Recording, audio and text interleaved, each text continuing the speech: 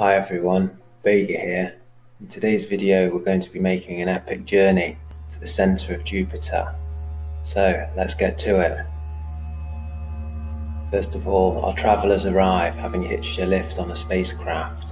Our reinforced jumbo jet makes its descent through the exosphere of Jupiter that doesn't really have a defined boundary towards the cloud tops.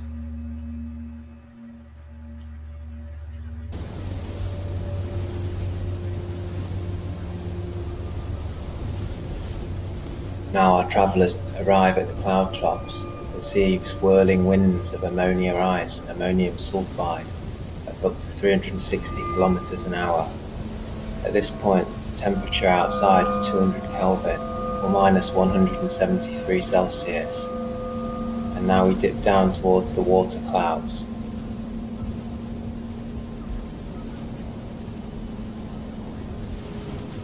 Here we see the water clouds floating at this point, the lightning is a thousand times more powerful than that on Earth. Let's hear some of the sounds of Jupiter at this point.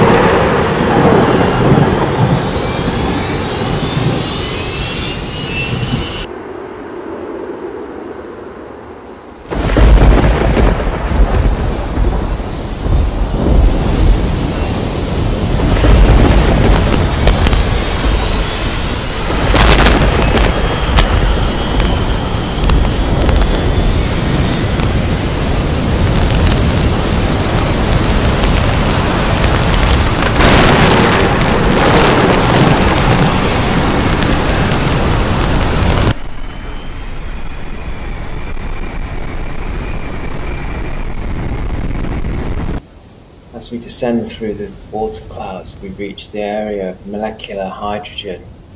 At around one bar of pressure, we're starting to reach what some people define as a surface of Jupiter now. Our plane slowly descends through the layers.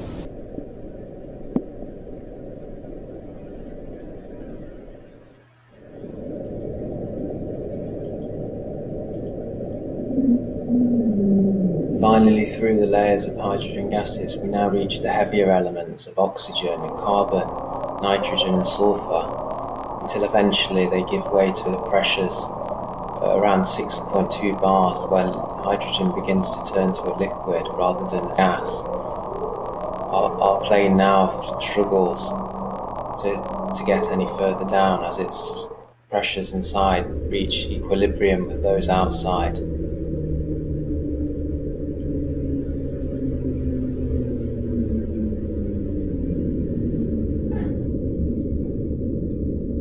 Our journey continues into the deep, the liquids now becoming thicker and more dense. At 3,000 kilometers, the pressures reach 10 bars. Our plane is fully reinforced and is able to combat such pressures. As our plane descends through the deep, the temperatures increase. Pressures pass 100 bars, 1,000. No lights are seen now, it's completely dark and pitch black our travellers begin to delve into the unknown of human exploration. The bottom of the Marianas Trench at 1,086 bars is passed.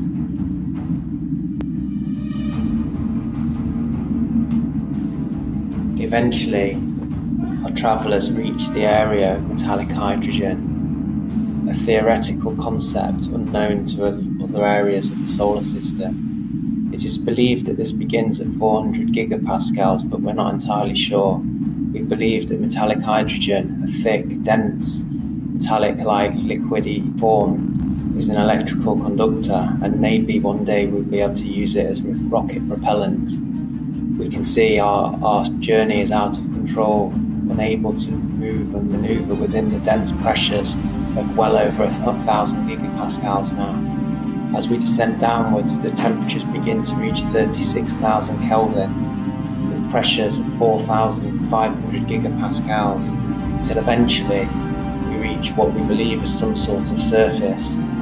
It's prophesied that at some point in its history Jupiter collided with a huge super Earth of 10 masses of Earth, and perhaps the core itself is not cylindrical. We just don't know at this point. We don't even know if there is a rocky core. What we do know is that the pressures will be intense and unbearable, possibly impossible to ever transit to.